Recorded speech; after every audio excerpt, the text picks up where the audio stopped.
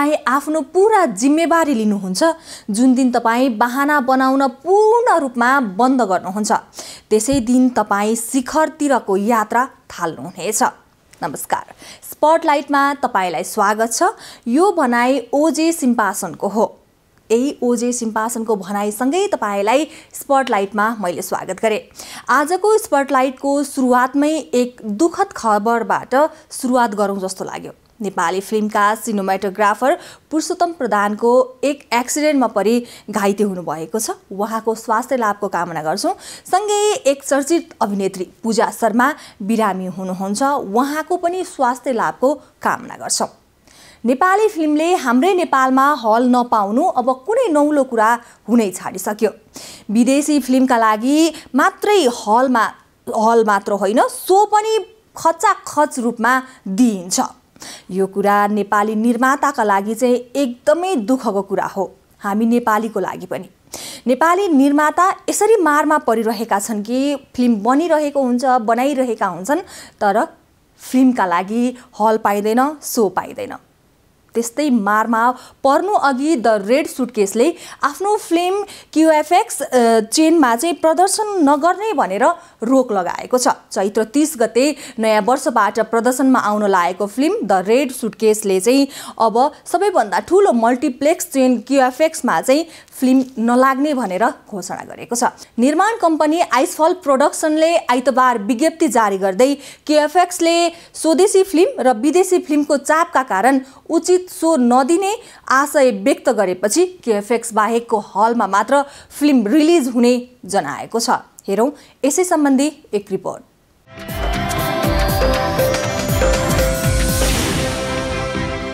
चैत्र तीस गते नयाँ वर्षबाट प्रदर्शनमा आउन लागेको फिल्म द रेड सुटकेस देशको सबैभन्दा ठूलो मल्टिप्लेक्स चेन क्युएफएक्समा नलाग्ने भएको छ।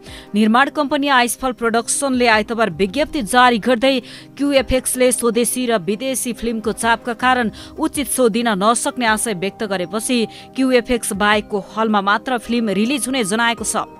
निर्माता रामकृष्ण पोखरेलको विज्ञप्तिमा भनिएको छ विदेशमा दर्शक तथा समीक्षकबाट फिल्मले राम्रै तारिफ पाए पनि हाम्रो लागि घरेलु दर्शकको प्रतिक्रिया बेग्लै अर्थ रहन्छ यही कारण विदेशी वितरकको क्यालेन्डरसँग सामञ्जस्यता मिलाउँदै हामीले चैत्र तीस गतेलाई प्रदर्शन मिति घोषणा गरेका हौं। तर देशको ठूलो सिनेमा चेन क्युएफएक्सले द रेड सुटकेसलाई अन्य देशी तथा विदेशी फिल्मको चापका कारण उचित सो दिन नसकिने र अर्को हप्ता रिलिज गरे पुनः विचार गर्न सकिने आशयको इमेल देखेपछि हामीले यसलाई आपत्तिजनक मान्दै क्युएफएक्स चेनमा फिल्म प्रदर्शन नगर्ने घोषणा गरेका छौं। कलात्मक क्षेत्रमा निर्माण भएका फिल्मलाई व्यापार नगर्ने फिल्मको लेबल लगाएर बारम्बार निरुत्साहित गर्ने काम भइरहेको प्रति निर्माता पोखरेलले आपत्ति जनाएका छन्। चाडपर्व र विदाको समयमा समयमा यस्ता फिल्मलाई प्रदर्शनको मौका नदिएर नजानिन्दो गरी हलको फरक धारका फिल्म दर्शकको रुचिमा पर्दैनन् भन्ने भाष्य निर्माण गरिरहेको उनको आरोप छ। हामी सिनेमा घरहरूको व्यापारिक सिद्धान्तको विरुद्धमा पनि छैनौँ। हामीले सिनेमा घरका सम्पूर्ण सोमा हामीले पाउनु पर्छ भन्ने आग्रह राखेर यस्तो निर्णय गरेका पनि होइनौ। हामी हाम्रो सिनेमाको दर्शक सीमाको बारेमा पनि अवगत छौँ। तर कम्तीमा शुक्रबार हलमा सिनेमा नलागुन्जेल कुनै पनि सिनेमाको व्यापारको भविष्यवाणी नगरौँ भन्ने हाम्रो आग्रह आग्रह हो। यसरी फिल्म चल्नै नदिनु वा फिल्म चलाउन दिए तापनि उचित सो नदिनुको मारमा द रेड सुटकेस मात्र होइन कैयौँ नेपाली फिल्महरू परिसकेका छन्। आफ्नै देशमा आफ्नै देशको फिल्मले छाउँ नपाउनु कहाँसम्मको न्याय होला त? आखिर कहिलेसम्म यसरी निर्माताहरू डुबिरहने? एकपटक सोच्ने पो हो कि? द रेड सुटकेसपछि लागौँ फिल्म ज्वाइँ सापतर्फ अभिनेत्री नीति शाहको दोस्रो फिल्मको घोषणा भएको छ। वसन्त निरौलाको निर्देशनमा निर्माण हुने फिल्म ज्वाइँ सापमा नीति अनुबन्धित भएकी छिन्। शाहको डेबी फिल्म खजुरे ब्रो आगामी वैशाख अठाइस गतेबाट प्रदर्शनमा आउँदैछ। यसै फिल्मको एक रिपोर्ट।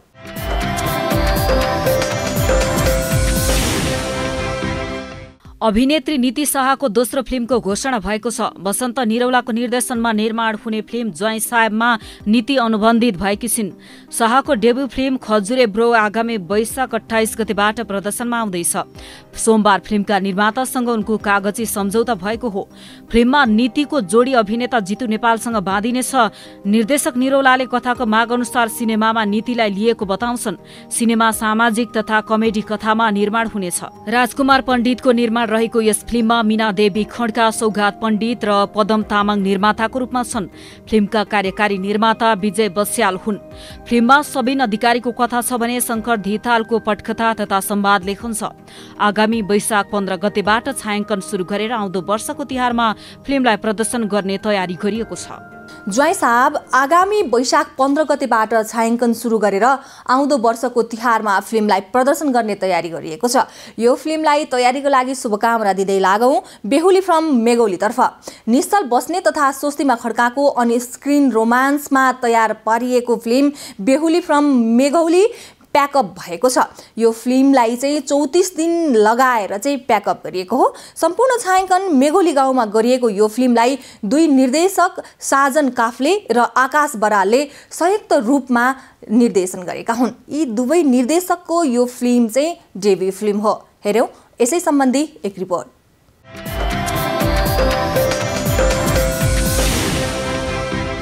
निश्चल बस्नेत तथा स्वस्तिमा खड्का अभिनीत फिल्म बेहुली फ्रम मेघौली प्याकअप भएको छ। यो फिल्म चौतिस दिनमा सकिएको हो। सम्पूर्ण छायाङ्कन मेघौली गाउँमा गरिएको यो फिल्मलाई दुई निर्देशक साजन काफले र आकाश बरालले संयुक्त रूपमा गरेका छन्। एबी इन्टरनेसनलको प्रस्तुति रहेको फिल्ममा गौतम प्रोडक्सन र अर्चिड भेस फिल्म लिमिटेडको निर्माण सहकार्य रहेको छ। सनिस खकुरेल र अजित केआर थापा फिल्मको सह निर्माता हुन् भने अङ्कित गौतम सुरज कुँवर र विजय भण्डारी यसका कार्यकारी निर्माता हुन्। फिल्म ज्येष्ठ पच्चिस गतेबाट रिलिज हुँदैछ? सिनेमामा Abhed परबको DOP Hercules Basnet ST Yogi बियोन र सलिन मगरको संगीत सजु चन्दनको सम्पादन सुजिल कर्मचारीको पास संगीत लग्नेश फर्नान्डेसको कोरियोग्राफी साहिल खानको ट्रेलर विजय बस्यालको पोस्टर डिजाइन मुख्य सहायक निर्देशकमा फिरोज खड्का रहेका छन्। रोहित कटेल र रत्न श्रेष्ठको आरआर फिल्म्सले फिल्मलाई नेपालभर वितरण गर्नेछन्। निश्चल र स्वस्तिमा खड्कालाई चाहिँ अन स्क्रिन होस् वा अफ स्क्रिन दर्शकले खुबै रुचाउनु भएको छ। उनीहरूको अर्को फिल्म दिमाग खराबको चाहिँ दुई हजार चौरासी सालमा चाहिँ नि निश्चलले सिक्वेल बनाउने घोषणा पनि गरिसकेका छन्। दिमाग खराबको सिक्वेलको लागि शुभकामना दिँदै लागौँ अर्को फिल्म लन्डन टु पेरिसतर्फ। यस फिल्मको एक गीत सार्वजनिक भएको छ। युवा पुस्तामाझ चर्चित सङ्गीतकार हर्कुलस बस्नेतको शब्द सङ्गीत र स्वर रहेको यो गीतमा चाहिँ सार्वजनिक भएको हो। यो गीतको भिडियोमा चाहिँ डेब्यू अभिनेता निश्चल खड्कासँगै अभिनेत्री साम्राज्ञी राज्य लक्ष्मी शाह देख्न सकिन्छ। लन्डनमा खिचिएको गीतमा चाहिँ रमणीय दृश्यले दर्शकको मन जित्ने विश्वास चाहिँ निर्माण टिमले गरेको छ। बाँकी कुरा गरौँ यो रिपोर्टमा।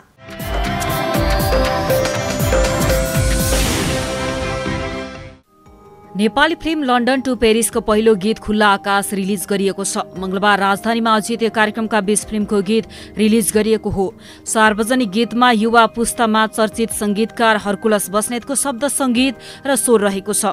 गीतको भिडियोमा डेब्यू अभिनेता निश्चल खड्कासँग अभिनेत्री सामग्री राज्य लक्ष्मी शाहलाई देख्न सकिन्छ।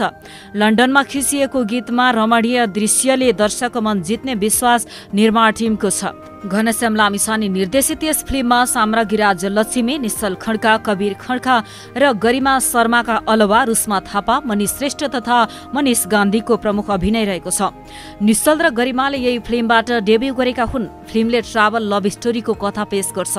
फिल्मको कथा पटकथा र संवाद प्रदीप भारद्वाजले लेखेका हुन्। अमित बस्नेतले निर्माण गरेको फिल्ममा आरोन बस्नेत एरियाना बस्नेत तथा परि राणा निर्माताका रूपमा रहेका छन्। लन्डन टु पेरिसको कुरा सुनिसक्नुभयो। अब लागौँ बोक्सीको घरतर्फ। बोक्सीको घरको केही दिन अघि एक गीत सार्वजनिक गरियो। अहिले उक्त गीतले निकै नै चर्चा पाएको छ।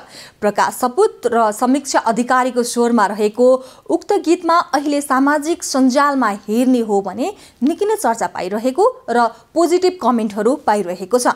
निकै नै अब्बल अभिनय क्षमता भएकी नायिका तथा अभिनेत्री केकी अधिकारी मुख्य भूमिकामा रहेको यो फिल्मको ट्रेलर पनि सार्वजनिक भएको छ। आइतबार काठमाडौँमा एक कार्यक्रम गरेर सार्वजनिक गरिएको उक्त ट्रेलर साढे दुई मिनटको रहेको छ। उक्त ट्रेलरमा चाहिँ बोक्सीमा बोक्सीको आरोप लगाएकी एक महिला पात्रलाई देखाइएको छ। आइतबार राजधानीमा आयोजित ट्रेलर सार्वजनिक कार्यक्रममा केकी चाहिँ क्यारेक्टर लुक्समै उपस्थित थिइन् उक्त लुक्सले धेरैको मन जितिरहेको थियो। हेरौँ एक रिपोर्ट।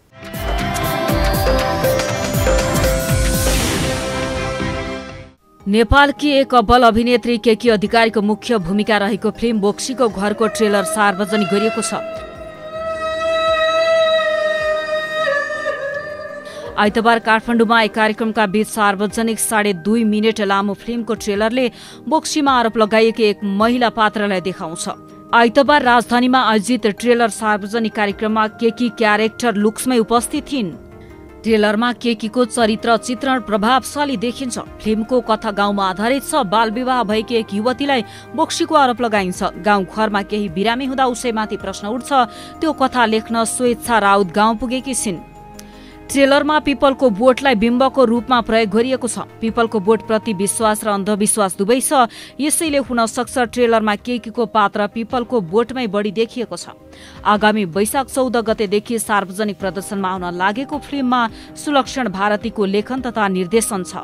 उनी स्वयंले फिल्ममा केकीको श्रीमानको भूमिका निर्वाह गरेका छन्।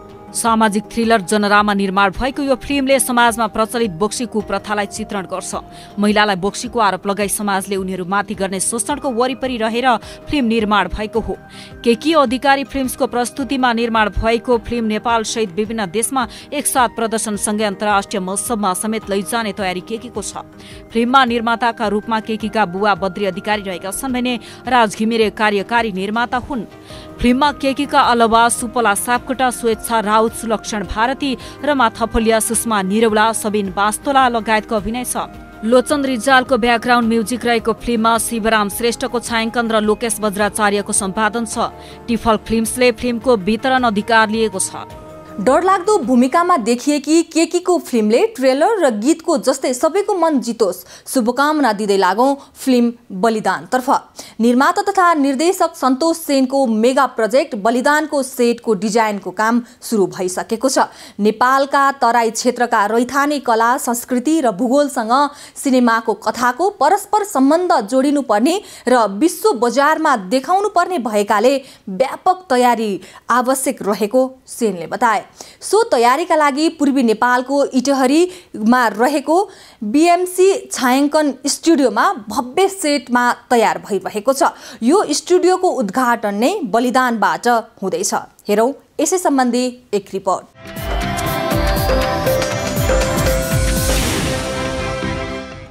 निर्माता तथा निर्देशक सन्तोष सेनको मेगा प्रोजेक्ट बलिदानको सेट डिजाइनको काम सुरु भएको छ। नेपालका तराई क्षेत्रका रैथाने कला संस्कृति र भूगोलसँग सिनेमाको कथा परस्पर सम्बन्ध जोड्नुपर्ने र विश्व बजारमा देखाउनु पर्ने भएकाले व्यापक तयारीको आवश्यक रहने सेनले बताएका छन्। सो तयारीका लागि पूर्वी नेपालको इटरीमा रहेको बिएमसी छायाङ्कन स्टुडियोमा भव्य सेट तयारी भइरहेको छ। यो स्टुडियोको उद्घाटन नै बलिदानबाट सुरु हुँदैछ। बलिदानबाट प्रमुख अभिनेताको रूपमा समीर भट्टले डेब्यू गर्दैछन्। समीर एक्सन हिरोको रूपमा प्रख्यात विराज भट्टका छोरा हुन्। उनले लामो समयदेखि भारतको मुम्बईमा रहेर अभिनय मार्शल आर्ट र नृत्य र द्वन्द्वमा तालिमहरू लिइरहेका थिए।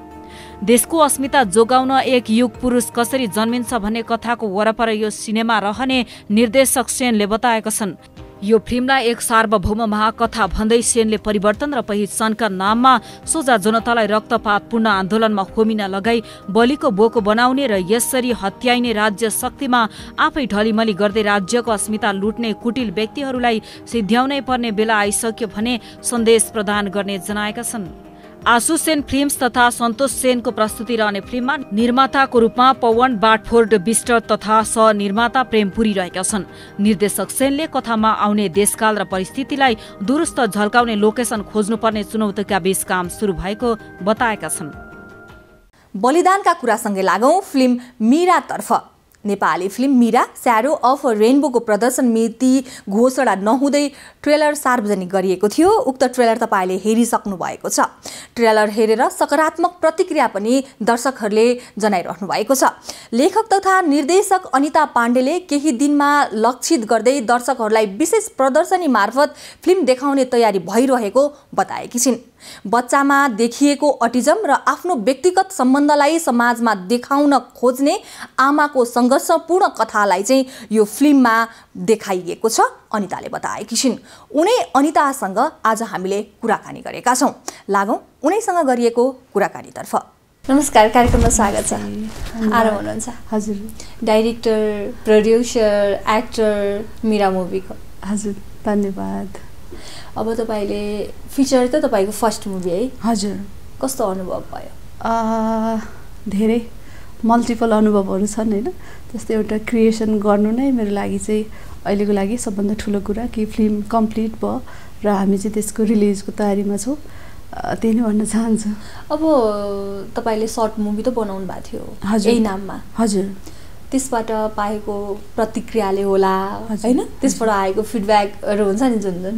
त्यसले हो कि के गरी फिचर्समा चाहिँ तपाईँको छलाङ मार्नुभयो? ए हजुर होइन। त्योबाट एउटा एक्सपिरियन्स चाहिँ भयो होइन? धेरै कुराहरू सिकियो। मलाई अनि आफूमा एउटा कन्फिडेन्ट चाहिँ थियो। किनभने कुनै पनि काम गर्नुभन्दा पहिला चाहिँ गर्न सक्छु कि सक्दिनँ भन्ने चाहिँ आफूले आफूलाई टेस्ट गरिन्छ। धेरै टेक्निकल कुराहरू पनि त्यहाँबाट सिकेको र एउटा प्रोपर भिजन र प्यासन भएको हुनाले चाहिँ आई थिङ्क सर्ट मुभी र फिचरमा अलिअलि डिफ्रेन्स छ तर एज अ स्टोरी टेलर स हरेक मुभीहरूको चाहिँ आई थिङ्क एउटै नै हुन्छ सबैको भ्याल्यु हुन्छ जस्तो मलाई लाग्छ। अब आइटीको मान्छे होइन अब धेरैवटा अहिले नाम बनाउँदै हुनुहुन्छ। हजुर। कस्तो सोचेर आउनु भएको थियो कस्तो पाइरहनु भएको छ? म चाहिँ त्यस्तो सोचेर चाहिँ खासै आएको छैन। And just moving with a flow अनि जस्तो आफ्नो मनमा भएको च्यालेन्जेसहरू त्यसलाई ओभरकम गरिरहेछु। त्यो नै मेरो लागि अब I think it's a success for me अब कतिको कुन चाहिँ काम सजिलो रहेछ? यस्तो रहेछ जस्तो आफूलाई मन लाग्ने काम गर्दाखेरि चाहिँ त्यहाँनिर थोरै इफोर्ट लाउँदाखेरि पनि धेरै काम भएको जस्तो लाग्ने अनि बोरिङ नहुने क्रिएटिभ धेरै हुने होइन? जस एनर्जी चाहिँ कहिले पनि डाउन नहुने। आइटीमा पनि इन्ट्रेस्टिङ छ किनभने लजिकल एउटा ठाउँ हो त्यो पनि मलाई मनपर्छ। तर फिल्म मेकिङ चाहिँ त्यो आत्मैदेखि के कुराहरू बोल्छ भनौँ न अब लगानी आफैले गर्नुभएको छ कथा आफै लेख्नु भएको छ। होइन अब डिरेक्सन पनि होइन आफैले डाइरेक्सन गरिरहनु भएको छ। हजुर। अब यो हिरोइन बन्ने चाहना हो अथवा नेपाली फिल्म इन्डस्ट्रीमा केही गर्ने चाहना? यो चाहिँ आई थिङ्क एउटा क्रिएटर भन्ने चाहना। जस्तो स्टोरी टेलिङको चाहिँ समाजमा ठुलो भूमिका हुन्छ होइन? समाजलाई केही न केही तरिकाले आफ्नो केही दिउँ भन्दाखेरि मैले के दिन सक्छु भनेपछि मैले एउटा कामको थ्रुबाट सोसियल इस्युजहरूमा चाहिँ मुभीहरू बनाएर त्यो पनि मेरो एउटा ठुलो भिजन छ। सो एक्ट्रेस भन्दा पनि भनौँ न एउटा फ्लि सृजना गर्ने त्यो चाहिँ मेरो ड्रिम हो। अब यति धेरै काम गर्नुभएको छैन। आफू। सेटिस्फाई भएको चाहिँ कुनमा हो? अब खतरा लेखाएको छु होइन। डाइरेक्सन खतरा गरेको छु। अथवा होइन मैले एक्टिङ चाहिँ खतरा गरेको छु के लागेको छ सबै अब सुरुमा त इन्सेक्युरिटिज हुन्छ तर डाइरेक्सनलाई लिएर चाहिँ अलिकति कन्फिडेन्ट थिएँ किनभने त्यो भिजन मेरो मनमा पहिल्यै भएको हुनाले यत्तिको चाहिँ निस्किन्छ है भन्ने चाहिँ थाहा थियो अनि हामीले प्रि प्रडक्सनबाट पनि कति धेरै कुराहरू चाहिँ आजकल त मुभी त पेपरमै रेडी हुन्छ होइन। त्यो चाहिँ थियो। एक्टिङको कुरामा चाहिँ अलिकति डर लागेको थियो किनभने डायलग डेलिभरीहरूको कुरा हुन्छ। त्यसमा पनि अब मैले ट्राई गरेको छु। अब राम्रो नराम्रो चाहिँ दर्शकको हातमा छ। भनौँ न। अब ट्रेलर आइसकेको छ होइन? धेरैले। हेर्नु भएको छ। अब तपाईँले आफै भन्नुपर्दा चाहिँ मिरा मुभी कस्तो मुभी? त्यहाँनिर त हामीले हेर्दाखेरि त अटिजम भएको एउटा छोरी। आमाको चाहिँ फरक फरक यौन चाहना होइन? त्यस्तो देखिएको छ। तर रियलमा चाहिँ के छ? मिरा मुभीले चाहिँ धेरै नै कुराहरू बोकेको छ किनभने यसको डाइमेन्सनहरू धेरै डाइमेन्सनको चाहिँ कथाहरूले बोकेको छ भेरियस लेयर्सहरू यो वुमेन सेन्ट्रिक मुभी नै हो एउटा फिमेलको पर्सपेक्टिभबाट चाहिँ कथा भन्न चाहिएको छ। तर यो हुँदाहुँदै एउटा रिलेसनसिपको कुरा हस्बेन्ड वाइफको जुन केमिस्ट्रीको कुरा सेक्सुअल डिजायर्सको कुरादेखि लिएर अब एउटा वर्किङ वुमनले चाहिँ वर्क लाइफ ब्यालेन्सको कुरादेखि लिएर धेरै त्यो पाटोहरू इभन हाम्रो आध्यात्मिक भनौँ न स्पिरिचुअल एउटा जर्नीको कुरा अन्डरस्ट्यान्डिङको कुरालाई समेटेको हुनाले I think it's a complete package for mature woman होइन? अ, अथवा मेच्योर म्यान जसले चाहिँ जिन्दगीलाई सिरियसली बुझ्नुभएको छ अ, त्यो उहाँहरूको लागि चाहिँ हो जस्तो मलाई लाग्छ। अब हामीले सर्ट मुभी हेर्दाखेरि त सर्ट मुभी त युट्युबमा अभाइलेबल छ होइन? सर्ट मुभी हेर्दाखेरि त्यहाँनिर त एउटै सेम जेन्डरको देखिएको थियो। हजुर। यसमा पनि त्यो। पार्टलाई समेट्नु भएको छ अथवा छैन? हजुर छ। यसमा पनि सेक्सुअल ओरिएन्टेसनको कुरालाई पनि हामीले उठाएको छौँ होइन? त्यो सेक्सुअल ओरिएन्टेसन भन्ने कुरा चाहिँ कस्तो हुँदो रहेछ भने इट्स नट द्याट रिजिड त्यो चेन्ज भइराख्ने पनि हुनसक्दो रहेछ। त्यो फिलिङ्स हो। It's not about gender it's about feelings अनि धेरै मान्छेमा धेरै खालको फिलिङ्सहरू चाहिँ हुनसक्छ। जस्तो अनि प्रेम भन्ने कुरा माया भन्ने कुरा अथवा अट्याचमेन्ट भन्ने कुरा चाहिँ जेन्डरभन्दा पनि कसैको इमोसनले अथवा कसैको साथ सपोर्टले त्यो लाइफ लाइफमा त्यो मान्छेले हाम्रो जीवनमा कस्तो भूमिका निर्वाह गरेको छ त्यो कुराले चाहिँ हाम्रो चाहिँ माया अथवा कनेक्सन चाहिँ त्यसरी हुन्छ भन्ने कुरालाई चाहिँ हामीले एडभोकेट गरे हौँ। अब नेपालमा यस्तो खालको मुभी एकदमै बनेको छैन भन्दा पनि हुन्छ। एकदम हातमा गर्ने मात्रा भइरहेको हुन्छ यस्तो मुभी। विश्वमा पनि हेर्ने हो भने एकदम थोरै होइन। अब यस्तो मुभी बनाउने आर्ट गरिरहनु भएको छ। हजुर। यो आर्ट चाहिँ कसरी आएको थियो? केही कुरामा तपाईँलाई टच भएको थियो? अथवा इन्सपिरेसन अब सोर्स चाहिँ के हो? हजुर यस्तो थियो। किनभने मलाई चाहिँ अलिकति नयाँ काम गर्नु थियो। किनभने इन्डस्ट्रीमा पनि ठुलो हाम्रो कम्पिटिसन छ। केही न केही गरेर त आफूलाई स्ट्यान्ड आउट गर्नु पऱ्यो र एलजिबिटी कम्युनिटी भनेको चाहिँ लेस भोकल भएको कम्युनिटी उहाँहरूको बारेमा उहाँहरूको कथा बोलिदिने चाहिँ एकदमै कम मान्छे अझै पनि हाम्रो समाजले त स्वीकार्न सकेका छैन नि त खुलम खुला रूपमा। हजुर। यो कुरा चाहिँ अब समाजमा उहाँहरू हुनुहुन्छ। उहाँको अस्तित्वलाई हामीले मेटाउन त सक्दैनौँ। लुकाएर भन्दा चाहिँ हामीले उहाँलाई एक्सेप्ट गरेर एउटा नर्मलाइज गर्ने एउटा प्रोसेस भनौँ न सो द्याट मैले यो टपिक चुज गर्नुको पछाडि एउटा सेन्टिमेन्ट पनि छ उहाँहरूको लागि। कतिको यो म्यासेज तपाईँको मुभीले चाहिँ दिन सक्छ? अब नागरिकताको कुरा गर्दाखेरि होइन? विवाह दर्ताको कुरा गर्दाखेरि पछिल्लो समय त अलिकति नेपाल सरकारले पनि यो कुरामा ध्यान दिइराखेको हामीले न्युजहरू हेर्न सक्छौँ होइन? अब तपाईँ आफैले चाहिँ मुभी मार्फत चाहिँ कतिको सन्देश दिन सक्नुहुन्छ? हामीले चाहिँ यो यसको जर्नीहरू भेरियस जर्नीहरू हुन्छ होइन? सुरुमा त आफूले आफूलाई नै चिन्नुपर्ने हुन्छ होइन? आफूले आफूलाई नै स्वीकार गर्नुपर्ने हुन्छ। त्यसपछि मात्रै परिवारमा जान्छ त्यसपछि समाजमा त्यसपछि देशमा। कति मान्छेहरू चाहिँ आफूले आफूलाई नै एक्सेप्ट गर्न नसकेर त्यो इन्टरनल स्ट्रेसमा चाहिँ उहाँहरू हुनुहुन्छ। सो हाम्रो मुभीको चाहिँ अधिकार भन्दा पनि आफ्नो रियालिटीलाई चाहिँ चिनेर एक्सेप्ट गर्नु चाहिँ ठुलो कुरा हो। त्यसपछि अरू प्रब्लम्सहरू भनेको बिस्तारै सर्ट आउट हुँदै जान्छन् र यसमा राष्ट्रको पनि ध्यान पुगेको छ। त्यो झनै राम्रो कुरा भयो होइन? अब यसमा अटिजम भएको त्यो अहिले धेरै देखिन्छ नि त हाम्रो समाजमा। अझ विदेशतिर नेपालीहरूकै बेबीहरू पनि धेरैजना बाहिर हुँदाखेरि झन् धेरै लागेको हो कि भन्ने कुराहरू। पनि आइराखेको थियो होइन? अब यो राइट हो अथवा रङ हो त्यो आफ्नो ठाउँमा छ। तपाईँले पनि यो कुरालाई पनि जोड्नु भएको छ। हजुर। अहिले अटिजम हजुरले भनेको जस्तै एउटा ग्लोबल इस्यु नै भनेको चाहिँ किनभने अहिले सोसाइटीको स्ट्रक्चर हेर्ने हो भने पनि धेरै जस्तो चाहिँ फ्यामिलीहरू आइसोलेटेड फ्यामिली एक्लै एक्लै बस्ने बच्चाको चाहिँ स्क्रिनसँग एक्सपोजर धेरै हुने मोबाइल टिभीहरू धेरै हेर्ने र हाम्रो यो सोसियल लाइफबाट अलिकति उनीहरू पर बस्ने भएकोले अटिजम जन्मजाति हुन्छ। तर त्यसलाई चाहिँ राइट टाइममा हामीले राइट थेरापीबाट चाहिँ नै धेरै कुराहरू सुधार्न सक्छौँ भन्ने चाहिँ हाम्रो मुभीको मेसेज हो। जस्तो नेपालमा पनि अर्बन सिटीहरूमा चाहिँ त्यो लाइफस्टाइलहरू चाहिँ कपी भइरहेछ होइन? बुवा आमा दुईजनै बिजी हुनुहुन्छ।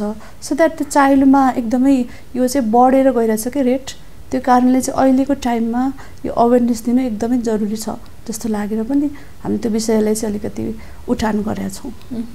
अब कति टाइममा बनाउनु भयो मुभी यसको हामीले प्रि प्रडक्सन सुटिङ त एकदमै कम समयमा सकियो with the help of good team होइन? पोस्ट प्रडक्सनमा अलिकति मैले समय लिएँ किनभने त्यसमा धेरै कुराहरू सुधार्ने मौका पनि हुन्छ। लगभग वान इयरको टाइम भनौँ न। यो अहिले नेपालीमा पनि नेपाली मुभीमा पनि आइराखेको हुन्छ यति लाखमा बन्यो यति करोडमा बन्यो होइन? अब पैसाको कुराहरू आइराखेको हुन्छ। ठ्याक्कै भन्नुपर्दा यस्तो लगानी राम्रै छ। किनभने मलाई चाहिँ मेरो टाइप अफ स्टोरी टेलिङमा आई लभ ग्ल्यामरस फ्रेम्सहरू अलिकति ब्युटिफुल फ्रेमहरू त्यो हुनाले हामीले सक्दो प्रडक्सन डिजाइनमा प्रडक्सन भ्यालुमा चाहिँ कम्प्रोमाइज नगर्ने ट्राई गरेका छौँ होइन? त्यो हुनाले हामीले लगानी गर्ने पर्ने ठाउँमा गरेका पनि छौँ तर धेरै भूमिका चाहिँ मैले आफै निर्वाह गरेको हुँदा थोरै बजेटमा कट अफ भएको छ। भनौँ न एकदमै धेरै लगानी पनि होइन थोरै पनि होइन तर मिडियम रेन्जको लगानी भएको छ। अब धेरै जस्तो मुभीले अहिले पछिल्लो ट्रेन्ड नै आएको छ कि? हजुर। फिल्म बनाउँदा बनाउँदै लगानी उठाउने। हजुर। यसमा चाहिँ कतिको ध्यान दिनुभएको छ? त्योमा चाहिँ हामीले त्यति ध्यान दिएनौँ। किनभने फर्स्टमा मैले चाहिँ आर्ट भनेको चाहिँ अर्कै तरिकाले बुझेको छु। आर्टको भ्यालुलाई अर्कै तरिकाले मैले रेस्पेक्ट गर्छु तर ह्याभिङ सेट द्याट एउटा फाइनेन्सियल पाटो पनि हुन्छ मुभीको। त्यो कुरालाई पनि रिकभर गर्न सकेको खण्डमा एकदमै राम्रो हो। तर हामीले चाहिँ पैसाको मात्रै पछाडि लाग्दाखेरि आर्ट कति कम्प्रोमाइज भयो भने होइन त्यो स्टोरी टेलिङमा कम्प्रोमाइज भयो भने त्यो अपग्रेड भएन भने भन्ने डर चाहिँ मलाई लाग्छ। किनभने अहिले चाहिँ हाम्रो नेपालमा बन्ने सिनेमाहरू सबै एउटै प्याटर्नको एउटा चल्छ अनि अर्को त्यस्तै प्याटर्नको आउँछ। त्यो भेरिएसनहरू नआउँदाखेरि चाहिँ इन्टायर इन्डस्ट्री जुन ग्लोबल्ली हामी जसरी कम्पिट गर्नुपर्ने ठाउँमा पुग्नुपर्छ त्यहाँ चाहिँ हाम्रो भेरिएसनहरू अलिक कम हुन्छ कि जस्तो फिल हुन्छ। सो हामीले चाहिँ स्टोरी टेलिङमा नै धेरै ध्यान दिउँ। तपाईँ अब आउनुभएको छ नेपाली फिल्म इन्डस्ट्रीमा केही गर्छु भनेर। हजुर। साँच्चै साथ सपोर्ट कतिको मिल्दो रहेछ? कतिपय पुरानाहरूले भनिरहनुहुन्छ पुरानैले भन्नुहुन्छ कि। साथ सपोर्ट गर्दैन एक्लै अर्कालाई हेल्पै गर्दैन गाह्रो छ अझ नयाँ आउनेलाई त गाह्रो हुन्छ भनेर।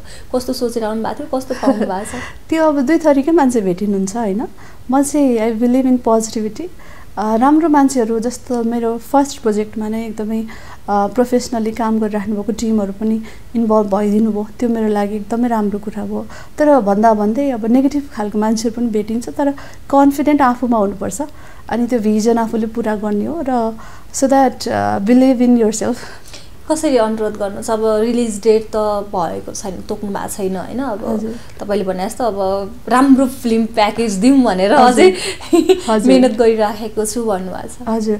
यस्तो छ म्याम कस्तो छ भने हाम्रो एउटा डिफ्रेन्ट खालको कन्टेन्ट अलिकति नेपालको सिनारीमा नयाँ भएको हुनाले हामीले चाहिँ टार्गेटेड अडियन्समा हलमा रिलिज गर्ने बित्तिकै उहाँहरू हेर्न गइदिने भन्ने पनि छैन। सो द्याट हामी आफै नै समन्वय गरेर उहाँहरूको सामुक्ष पुगेर फेस टु फेस हाम्रो मुभीको बारेमा बताएर सर्टेन अडियन्सहरूलाई चाहिँ त्यसरी स्पेसल सोजहरू गराउँछौँ। अनि त्यसपछि त्यो सकेपछि हामी पनि कमर्सियल थिएटर रिलिजको प्लान चाहिँ बनाइरहेछौँ यो हामीले तपाईँको त्यो हेर्दाखेरि बाहिरको अडियन्स हामीले धेरै देखिराखेका थियौँ होइन। साँच्चीकै नेपालमा भन्दा बाहिर हो यसको अडियन्स बाहिर चाहिँ कस्तो छ भने अलिकति ओपन छ सोसाइटी। यो कुराहरू उहाँलाई स्वीकार गर्न सजिलो छ। हाम्रो चाहिँ कस्तो छ भने जो मान्छे एलजिबिटीबाटै बिलङ गर्नुहुन्छ उहाँहरूलाई नै पनि त्यो कुरा एक्सेप्ट नहुने र खुलेर भन्न नसक्ने? हजुर। त्यो हुनाले चाहिँ यो खालको मुभी हेरेँ भन्न नै उहाँहरू चाहिँ डराउनुहुन्छ लुकेर हेर्ने होइन त्यस्तो खालको प्रवृत्ति छ। सो पिपल त्यो बाहिरको मान्छेहरू चाहिँ they are proud of themselves त्यो हुनाले चाहिँ आई थिङ्क उहाँहरूले त्यो मजाले त्यो कमेन्ट्सहरू पनि एकदम मन खोलेर गर्नुहुन्छ। के भन्नुहुन्छ अन्तिममा? आफ्नो दर्शकलाई तपाईँको मुभी हेर्नलाई कसरी अनु- अनुरोध गर्नुहुन्छ? हजुर म चाहिँ के भन्न चाहन्छु भने यस्तो यङ ट्यालेन्टहरू जो चाहिँ फिल्म इन्डस्ट्रीमा आउन चाहनुहुन्छ उहाँहरूको लागि चाहिँ जस्तो पैसा मात्रै होइन होइन? आफ्नो क्रिएसन थोरै लगानीबाट पनि हामीले आफ्नो भ्यालुलाई आफ्नो कामलाई चाहिँ इन्डस्ट्रीमा ल्याउन सक्छौँ र हरेक इन्डस्ट्री भनेको चाहिँ पुस्ताबाट पुस्ता ट्रान्सफर हुँदै जाने हो। पहिलो पुस्ताहरूले अहिले राज गरिराख्नु भएको छ। बिस्तारै अर्को पुस्तामा ट्रान्सफर हुन्छ। सो द्याट त्यो अलिकति त्यो डिस्क्रिमिनेसन चाहिँ हुन्छ नै। तर पनि कन्फिडेन्ट आफूमा राखेर कोही यदि फिल्म इन्डस्ट्रीमा आउन चाहनुहुन्छ भने चाहिँ आई थिङ्क इट्स ओपन भन्न चाहन्छु। हस् आइदिनु भयो समय दिइदिनु भयो मिराको बारेमा। हजुर। धेरै कुराहरू दर्शकलाई भनिदिनु भएको छ। अब यो मेसेज बुझ्नेहरूले पक्कै पनि तपाईँको मुभी हेर्नुहुनेछ भन्ने हामीले पनि अपेक्षा लिएका छौँ। समय दिनुभयो संवाद गरिदिनु भयो त्यसको लागि धेरै धेरै धेरै धेरै धन्यवाद।